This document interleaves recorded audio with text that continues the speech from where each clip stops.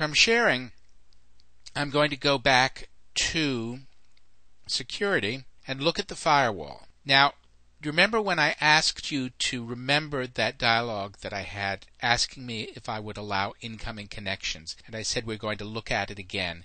Well, here it is. I was asked if I wanted to let the printing software access my computer.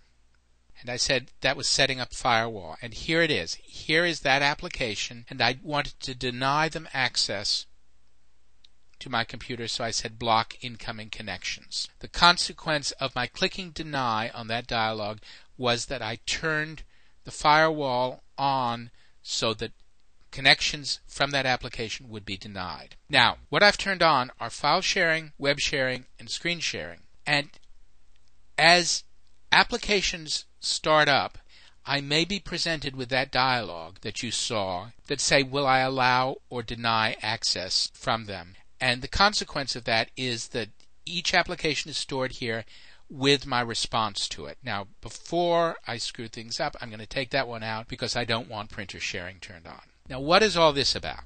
What a firewall does is it protects you or it controls access from outside of your computer over a network into your computer. The assumption is that what happens that goes out is what you are controlling, things you are doing. You don't care about that. You should know what's going on. But what you do care about is someone over the network trying to gain access to your computer for a purpose that you do not permit. I have permitted access to my computer from outside the computer for protocol, file sharing using the Apple file sharing protocol or the standard FTP internet. So another computer on the network can gain access to my computer for these purposes, provided they have a password. The web sharing also, they may come in from outside my computer to access web sharing. For other purposes, it's either denied or, for example, here's MySQL over my local area network. Another computer can come in and use the MySQL database if they have a password because I allow incoming connections from MySQL. So the purpose of the firewall is to control what comes into your computer, and it's done if you allow all incoming connections, then you've turned the firewall off.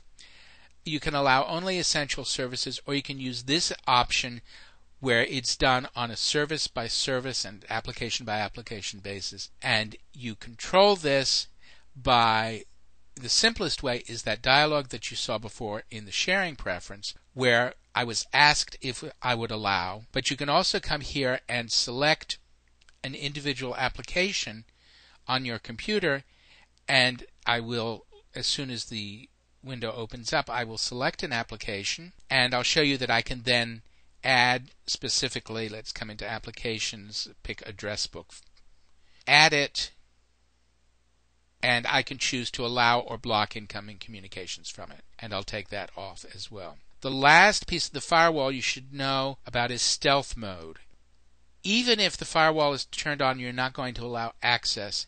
It is possible over the network for another device or a program to poke around and see if your computer exists. With stealth mode, it doesn't respond saying access denied, it just doesn't respond at all. So no one from the outside can see whether your computer exists. Do you need a firewall turned on? Well, it depends. You have to look at your configuration. If you are connected to the internet, you must be protected by a firewall. It's just too dangerous not to have a firewall. Now, where does that firewall have to be? It could be at your router. It could be at the internet connection. It could be anywhere on the network. You want a firewall basically that you control somewhere between your computer and the wild world of the internet.